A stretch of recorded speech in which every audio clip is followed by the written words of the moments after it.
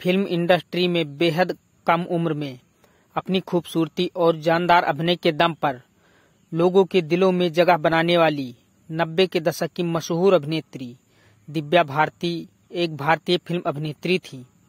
उन्होंने मुख्य रूप से बॉलीवुड में काम किया था। दिव्या अपने समय की सबसे युवा अभिनेत्री थी, क्योंकि उन्होंने बॉलीवुड फ़िल्म इंडस्ट्री में बेहद कम उम्र में अपना करियर बनाया था। दिव्या ने अपने करियर की शुरुआत तमिल और तेलुगु फ़िल्मों से की थी।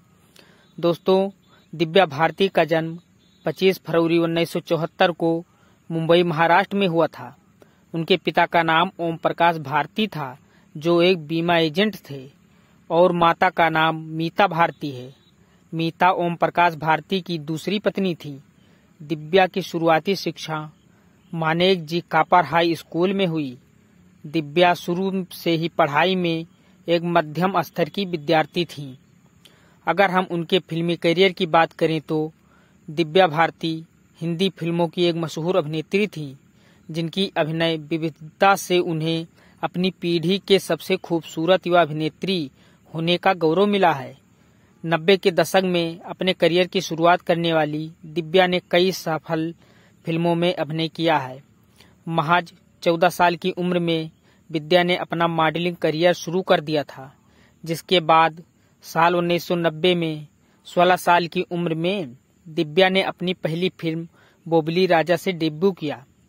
ये फ़िल्म तेलुगु फ़िल्म थी। साल उन्नीस सौ बानबे में रिलीज़ हुई फ़िल्म विश्वात्मा से दिव्या को अपार सफलता मिली, जिसके बाद उनका नाम बॉलीवुड इंडस्ट्री की जानी मानी अभिनेत्रियों में शुमार हो गया। बाद में उन्होंने कई सफल फ़िल्मों में काम किया, जैसे शोला और शबनम, बलवान, दिल आशना है, गीत, दीवाना आदि। दोस्तों, अगर हम इनके वैवाहिक जीवन पर नज़र डालें तो दिव्या ने 10 मई उन्नीस सौ बानबे को फ़िल्म निर्माता और निर्देशक साजिद नाडियावाला से शादी की। दिव्या भारती ने साजिद से शादी करने के लिए इस्लाम धर्म को कबूल किया था। इस्लाम धर्म कबूल करने के बाद ही उन्होंने अपना नाम सना रखा था।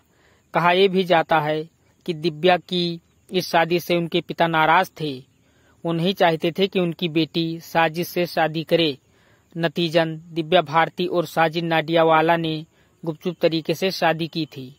दिव्या की शादी के बाद उनके पिता ने उनसे बात करना बंद कर दी थी लेकिन खुदा को तो कुछ और ही मंजूर था। दोस्तों जब दिव्या भारती ने दुनिया को अलविदा कहा उस वक्त उनकी उम्र महज उन्नीस साल थी। ज़िंदगी के इन सालों में दिव्या ने बचपन देखा फ़िल्मों की दुनिया देखी।